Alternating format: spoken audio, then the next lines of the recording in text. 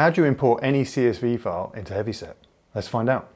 Here I have just any CSV file. It's a, basic starting strength workout.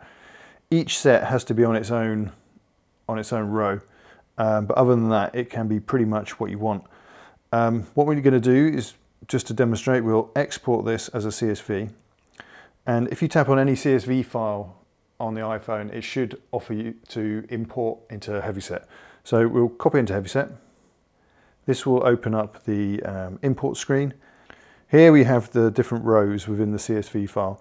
These are our dates. We can jump to a different row to see the values up here. So we need to say date. And the date format I used was none of those. So I need to say dd slash mm slash yyy.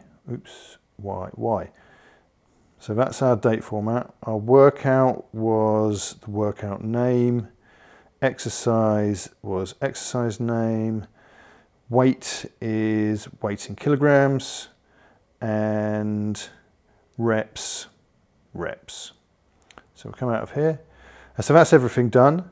So now we just um, we'll select our preferred mass unit, we'll skip blank rows, invalid rows, and then we'll just import.